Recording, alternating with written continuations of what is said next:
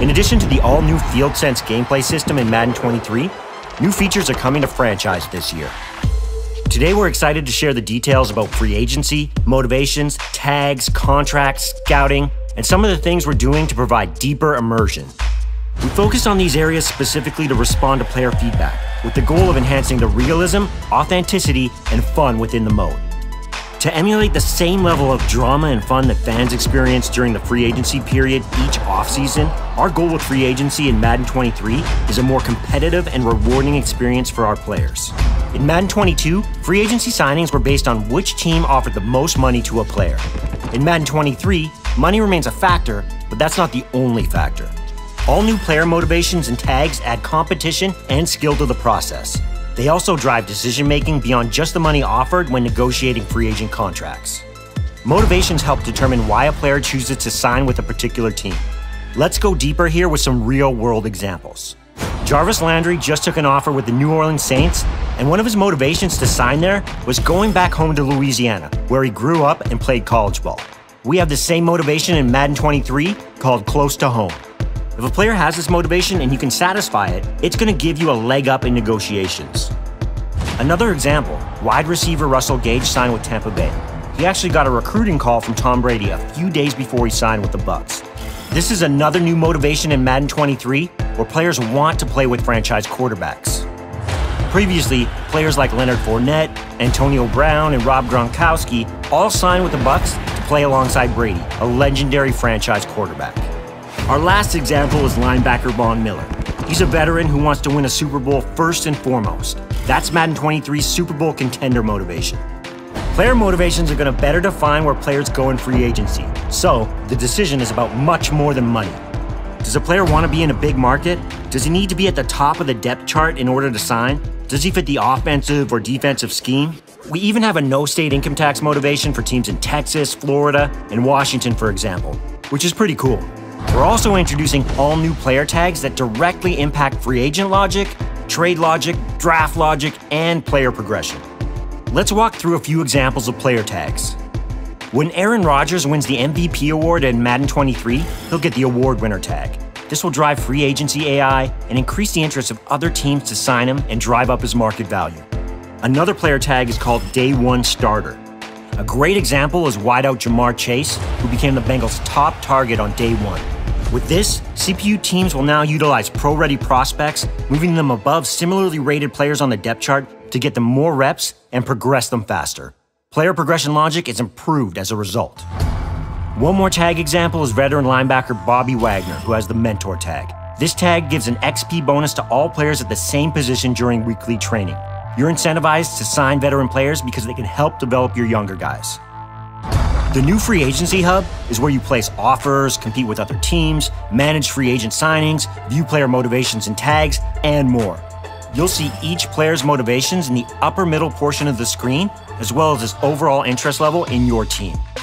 Player motivations are displayed in order of importance and can be either a positive, negative, or neutral status. Next, in the upper right hand corner, we have the Market Watch. This shows the current number of teams that are interested in the player, as well as his offer status. The status can be no offer, in the hunt, or not in the hunt. This provides valuable information as to whether or not you want to continue targeting a player. Below, you can also see his expected market value, which gives you a starting point on what you want to offer for his contract. Another new addition to the free agency system is the introduction of active negotiations.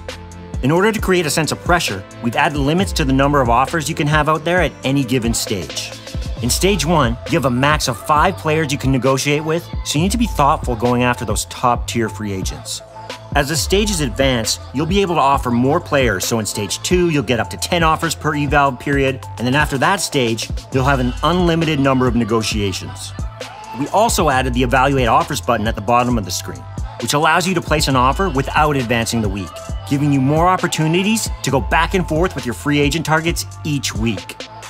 Finally, at the bottom of the screen is where you can sort through the available players each week, view their player card, target your players, and make your offers. We've added four new contract offer presets to help streamline the negotiation process player friendly, team friendly, neutral, and very player friendly, and they each come with their own risk and reward. You can still customize your offers as well. And a top community request, new rollover cap, allows you to carry over unused cap space to the next year. We've taken the top requests from player feedback to improve franchise scouting for Madden 23. First, we've added more scouts to the pool so you can get information on prospects faster and to optimize your chances in the draft. No matter what your team needs are, you can now find and hire scouts that are experts at evaluating any position.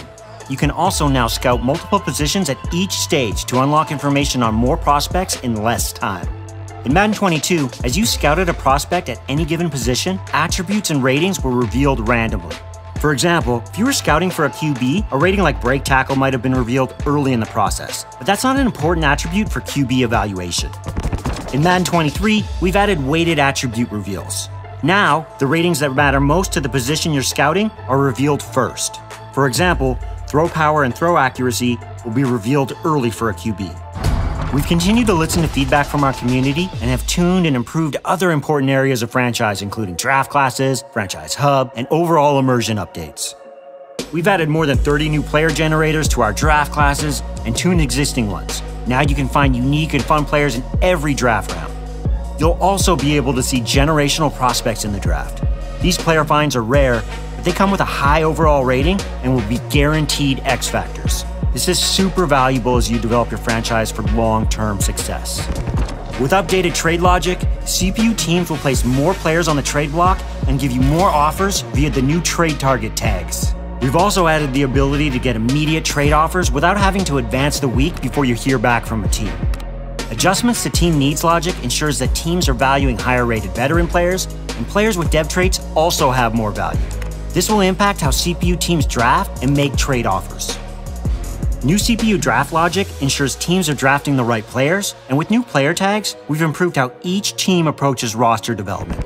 For example, the Jacksonville Jaguars, who drafted Trevor Lawrence in 2021 as their franchise quarterback, won't be looking to draft another quarterback and instead will focus on a different need. It's now easier to unlock and assign abilities. You can assign more abilities and create more variation for your players. And the most impactful abilities are now gated by higher overall ratings. Scouting UI improvements make it easier to assign scouts and create a cooler look at the mock drafts.